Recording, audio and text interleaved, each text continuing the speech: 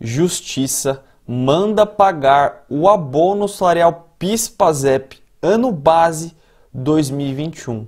Nesse vídeo vou te explicar como que isso foi possível, como que essa trabalhadora conseguiu isso, dar os devidos créditos a quem teve a iniciativa, tudo isso. Nesse vídeo você quer saber tudo sobre o PIS/PASEP ano base 2021? Fica comigo até o final. Fala meus queridos, quem fala é Rodrigo, sou advogado, sejam todos muito bem-vindos ao nosso Dica Trabalhista.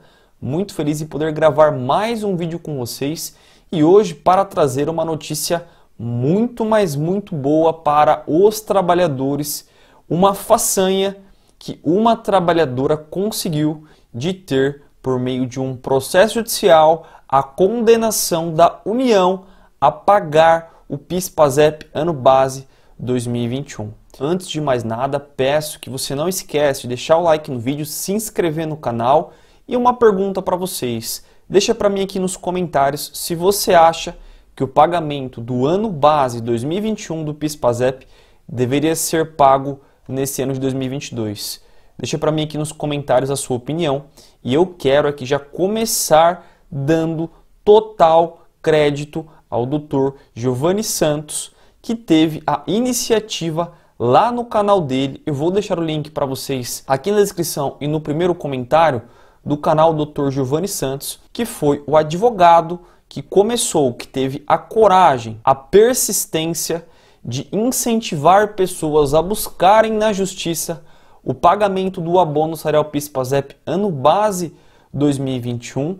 A princípio, eu fui uma das pessoas que não acreditava nessa tese. Entretanto, esse advogado foi valente, corajoso e teve essa decisão judicial que inclusive nós pegamos lá no canal dele o número desse processo. A gente vai analisar essa decisão nesse vídeo, mas eu quero aqui deixar todos os créditos para o Dr. Giovanni, porque aqui a iniciativa foi dele de buscar na justiça o ano base 2021 e que vem aqui parabenizar o colega Dr. Giovanni Santos.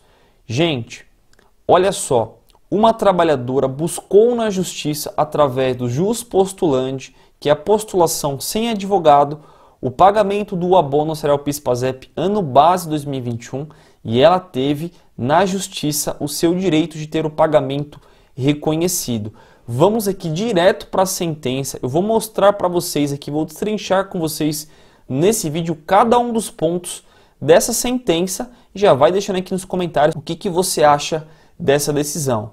Vem aqui, gente, Justiça Especial Federal da Terceira Região, Terceira Região, São Paulo. Foi aqui o Jeff de São Paulo, Juizado Especial Federal de São Paulo, que saiu essa sentença. Aqui eu cobri o nome da trabalhadora para preservá-la. O réu nesse processo é a União, ou seja, quem ela colocou nesse processo para pagar é a União. Vamos aqui para a sentença e aí vem aqui trata-se de ação proposta pela parte sem advogado em face, ou seja, contra a União, objetivando o recebimento do valor de abono salarial previsto no artigo 9 da Lei 7.998, referente ao ano base 2021. Citada, a União arguiu preliminares e manifestou-se em termos absolutamente genéricos, o que nada diz enquanto ao pedido inicial.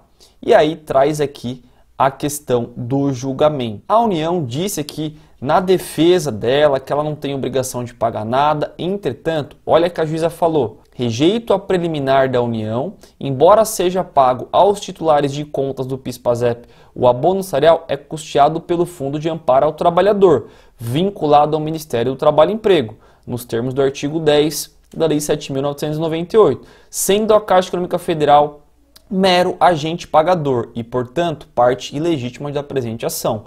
É isso, gente. A Caixa apenas paga. Quem dispõe, quem vai pagar ou não, é o Ministério do Trabalho, que é um braço da União. Então, aqui, irretocável essa questão colocada pela juíza. Aqui ela traz, passa a analisar. Ela traz aqui que o artigo 239, parágrafo 3 da Constituição, tratou sobre o abono salarial. Ela traz aqui a citação dos artigos traz a lei lá no seu artigo 9 que traz os requisitos para você receber o abono salarial.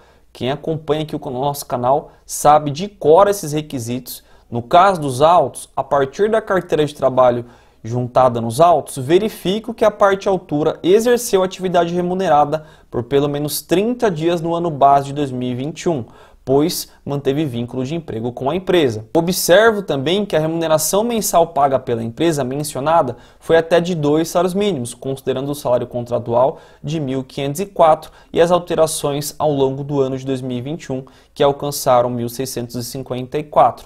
Aqui, o juiz está analisando se ela atende cada um dos requisitos para receber o abono salarial. E aqui, gente, não adianta nada você buscar na justiça, você fazer qualquer outra coisa se você não atende os requisitos.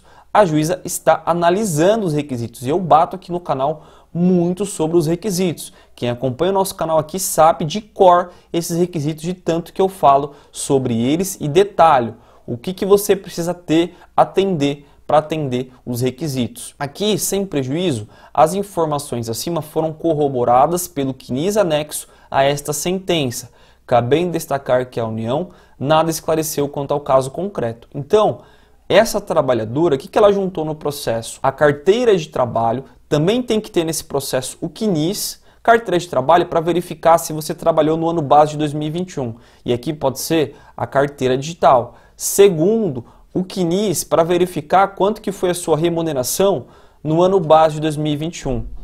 Pois, embora não existam informações sobre a RAIS do ano base 2021 nesses autos, é importante destacar que cabe ao empregador fornecer as informações necessárias para a atualização dos dados do emprego e a União Federal o dever de fiscalizar, sendo assim não pode o empregado ser responsabilizado e prejudicado pela desídia do seu empregador e pela falta de fiscalização da União. Dessa forma, aqui só um detalhe, aqui gente, é importante juntar nesse processo para pagamento do PIS a consulta da RAIS, comprovar para o juiz que você consultou a RAIS e que a empresa entregou as suas informações para o governo. E aqui, dessa forma, atendidos os requisitos necessários para a concessão do abono salarial, é de rigor a procedência da presente ação.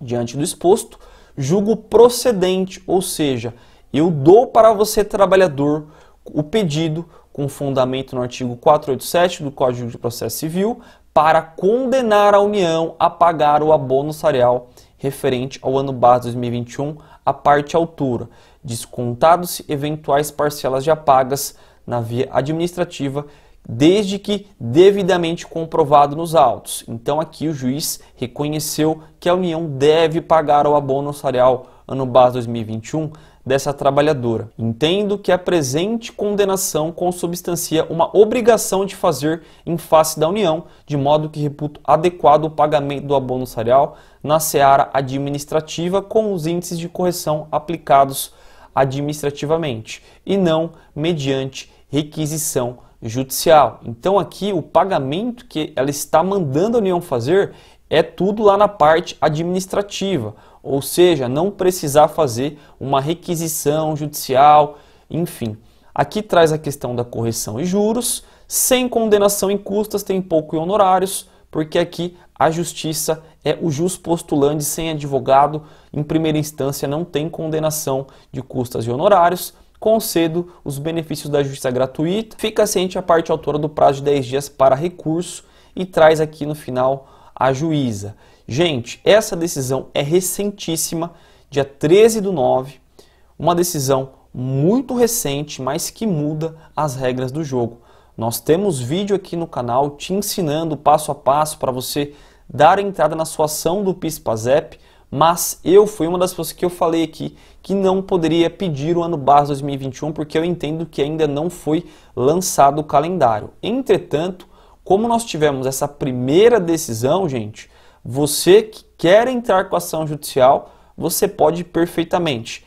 Temos vídeo aqui no canal, eu vou deixar o link dos vídeos aqui na descrição.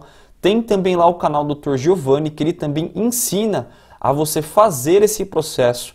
O que eu quero destacar para vocês são alguns pontos. Primeiro, gente, essa decisão é de primeira instância, ou seja, pode acontecer da União recorrer disso daqui ou pode não recorrer. Se a União recorrer, pode ser que esse processo demore mais um tempo para poder chegar ao fim. Se caso a União recorrer, vai demorar mais um tempo para esse processo acabar. Se caso a União não recorrer, esse processo vai transitar em julgado, ou seja, não vai caber mais recurso, a gente vai saber se a União vai recorrer ou não desse processo. Eu vou estar acompanhando de perto do que vai acontecer nele.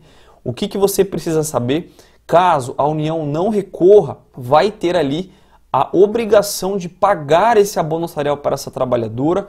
Muito provavelmente nós ainda não sabemos se esse pagamento vai demorar, se o pagamento vai ser imediato, se vai ter recurso. Tudo isso eu vou acompanhar.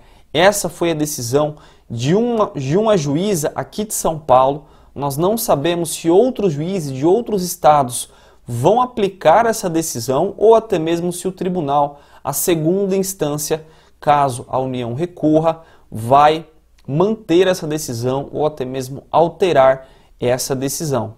Rodrigo, mas por que você está falando tudo isso? Porque, gente, se a União recorrer, pode demorar mais um pouco para esse pagamento sair. Então, por hora, o que eu tenho para falar para vocês é que a gente tem que aguardar qual que vai ser o desenrolar desse processo. Eu vou te avisando tudo por aqui, mas por hora, o que você precisa saber? Você que quer entrar com a ação judicial do PIS-PASEP, temos essa primeira decisão aqui de São Paulo. Não sabemos se outros estados, outros juízes vão aplicar desse jeito o entendimento, mas é a primeira sentença, é a primeira decisão favorável para os trabalhadores. Então é muito importante, por isso que eu queria trazer para vocês aqui no canal. Esse foi o nosso vídeo de hoje. Espero que tenham gostado. Um abraço, tchau, tchau.